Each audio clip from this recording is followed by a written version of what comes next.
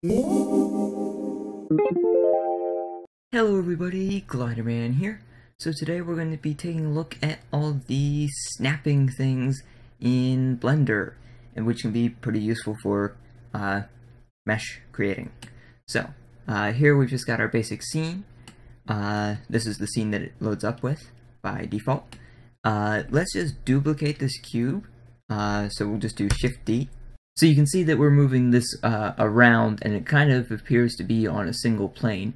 And so I believe that is based off of the origin of that object and basically uh, from the plane projected from this viewport, which you can see is, you know, a rectangle.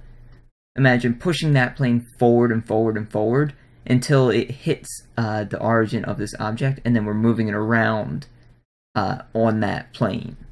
So uh, you can also see that it's not really snapping at all. So we can move it around uh, freely and you can see uh, the down in this corner here, you can see all of the values changing quite rapidly uh, as I'm dragging it around. So let's just press escape for now and we'll jump into the first bit of snapping. So you can just click this uh, magnet right here or you can do shift tab. Shift tab will toggle that. And by default, it will be set to increment mode, which if we just press G to grab this, you can see it's snapping uh, right along basically the size of that blender grid. So I can try to drag it like along the x-axis. You know what, let's just lock it to the x-axis by pressing X. And you can see it's snapping by one unit. And you can also see it uh, noted down here uh, with the change is noted uh, along that. So let's just press escape again I've snapped into front view, and if you're curious how it automatically toggles between perspective and orthographic, just go to File, User Preferences, if we just drag this down, and I think that's Interface, and then Auto Perspective. If you enable that checkbox and then, you know, save your user settings so that it remembers that, uh, basically when you orbit with the middle mouse, it'll snap to perspective, and if you tap one of the numpad keys, uh, will automatically snap into ortho. I found this to be a pretty big time saver so that you don't need to do uh, like side view and then press 5 and then toggle back and forth and back and forth. Instead, it just automatically does that for you. So anyway, let's go into front view.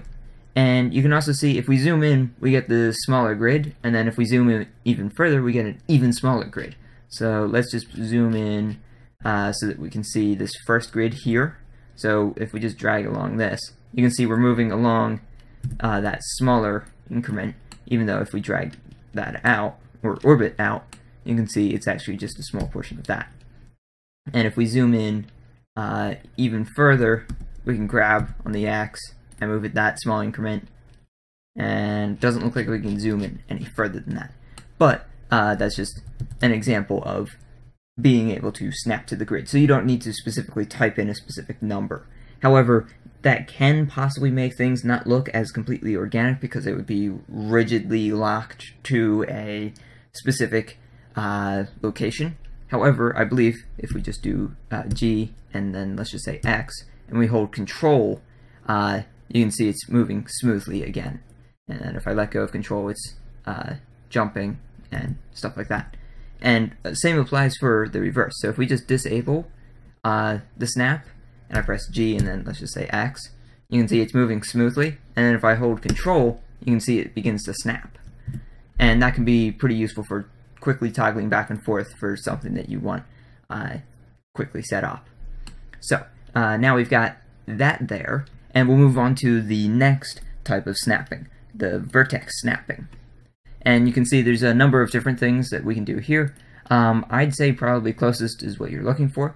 But if we just grab this, and then uh, you can see as I'm mousing over these different points, um, well, this is kind of a bad example. Uh, if we just grab, move that along the X, let's see if we can grab it uh, and snap that in.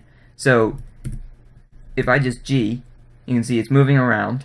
And then if I mouse over that corner, you can see it begins to uh, snap to it. If I mouse over that corner, uh, basically it's trying to choose the shortest path to get to that. So if even if I went with that corner, it wouldn't necessarily flip to the other side. Same with this corner. It's moving from here to whatever is the closest point. So uh, that is valid on this mesh and that mesh. So that's the vertex snap, and then it's basically the same thing with the edge snap. We just grab, you can see we can snap uh, straight to that edge, but we get to move up and down. You can see it's flipping right about at the halfway point there. Um, so that's how we can easily uh, snap to somewhere along the edge there. And then uh, it should be basically the same thing for the face, so that we're moving around on that entire face. Uh, and so you can easily and quickly uh, set it to that. Now we can also do volume, which is basically snap to anything that's inside that volume. And so while these four up here are basically the same thing, they can all prove to be quite useful. I, however, find uh, snap to vertice uh, to be the most useful for me.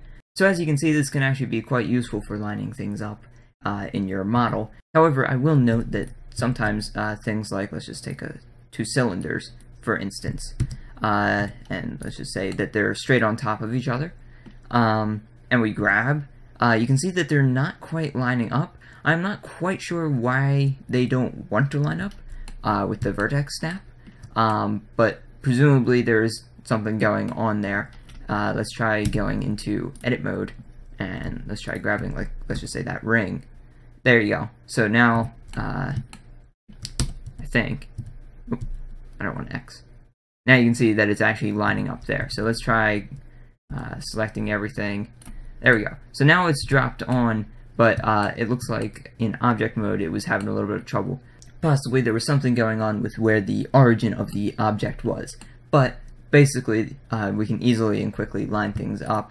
And then let's just say uh, we had these two selected, and then we did Control J, and now we've got a single object. Let's just say you were combining two parts of your mesh. And that you've got that, you obviously want to remove the doubles. But anyway, that's just a simple example of how the uh, vertex uh, snapping uh, can be quite useful. I typically just use it in increment so that I can quickly and easily uh, drag something up, let's just say, to the plane there, um, or whatever.